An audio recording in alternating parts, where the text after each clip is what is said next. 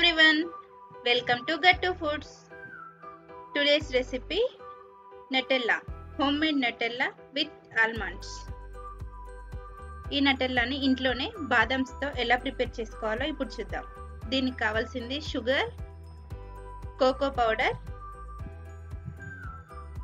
half cup బాదంస్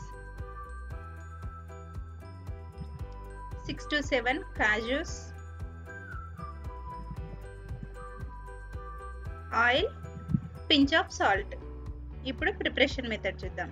ముందుగా stove పైన ఒక ప్యాన్ పెట్టుకొని మనం తీసుకున్న ఆల్మండ్స్ని అలాగే కాజుని దాంట్లో వేసుకొని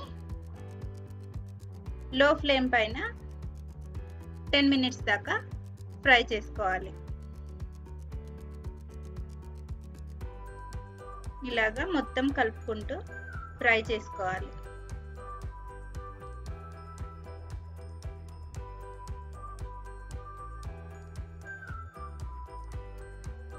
ఇలాగా ఒక టెన్ మినిట్స్ ఫ్రై చేసుకున్న తర్వాత స్టవ్ ఆఫ్ చేసుకొని వీటిని చల్లారనివ్వాలి. ఇప్పుడు ఒక మిక్సీ జార్ తీసుకొని దాంట్లోకి పావు cup sugar one by fourth sugar అలాగే two and half spoons cocoa పౌడర్ని యాడ్ చేసుకోవాలి. నేను ఇక్కడ టూ స్పూన్స్ యాడ్ చేశాను.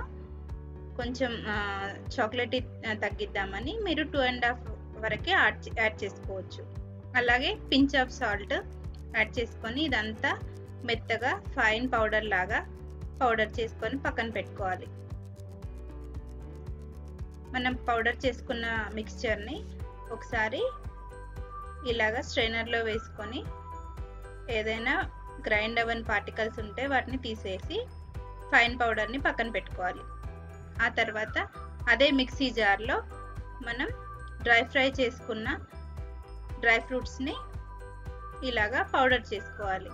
ఈ ప్రాసెస్ని మనం ఆల్మండ్స్ మొత్తం పేస్ట్ లాగా అయిపోయి ఆయిల్ రిలీజ్ చేసేంత వరకు రిపీటెడ్గా చేసు కలుపుకుంటూ ఆపుకుంటూ ఇలాగా ఈ ప్రాసెస్ని రిపీటెడ్గా చేస్తూ ఉంటే ఆల్మండ్స్ నుంచి ఆయిల్ రిలీజ్ అయ్యి ఇట్లా పేస్ట్ లాగా తయారవుతుంది. దీనికి త్రీ టు ఫోర్ టైమ్స్ మనం కలుపుకొని మళ్ళీ మిక్సీ చేసుకుంటే ఈ కన్సిస్టెన్సీ వస్తుంది. ఆ తర్వాత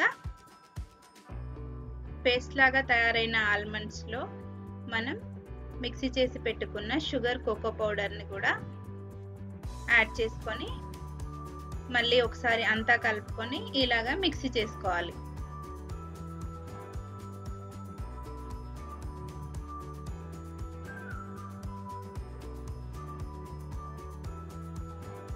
ఆ తర్వాత దీంట్లో three spoons three teaspoons ఆయిల్ని యాడ్ చేసుకోవాలి.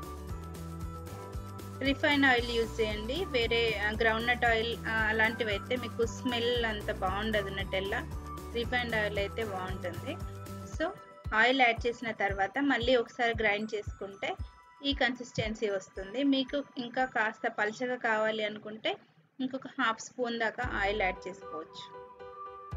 ఇప్పుడు దీన్ని ఒక బౌల్లోకి తీసుకుంటే Nutella homemade Nutella with almonds ready అయిపోయింది.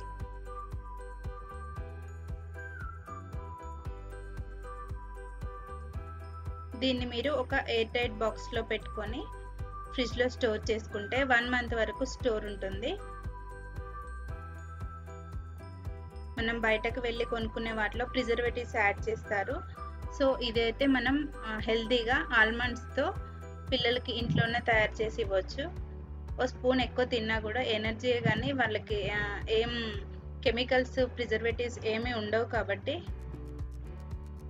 ఏం హామ్ చేయదు. సో ఈ ఆల్మండ్ నెటెల్లా నార్మల్గా మీరు కొనుకొచ్చుకునే నెటెల్లా కంటే చాలా చాలా టేస్టీగా ఉంటుంది. ఈ వీడియో కనుక మీకు నచ్చినట్లయితే like share comment and please subscribe.